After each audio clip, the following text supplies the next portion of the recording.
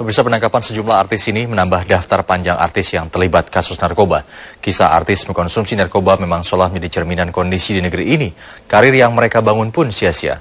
Lalu apakah dunia keartisan menjadi sudah sangat dekat dengan dunia narkoba?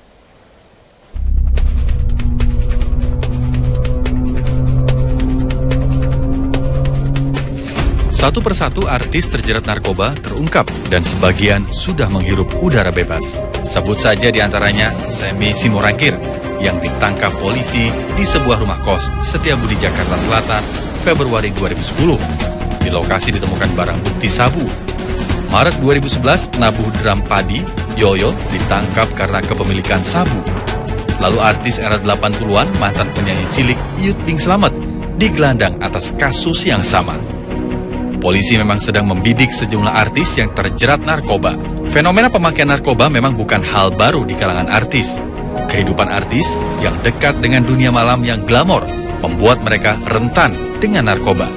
Tercatat sejak tahun 2007, lebih dari 10 artis terjerat narkoba. Badan Narkotika Nasional atau BNN mencatat jumlah pengguna narkotika di Indonesia tahun 2011 mencapai 3,8 juta orang atau 1,5 persen dari penduduk Indonesia.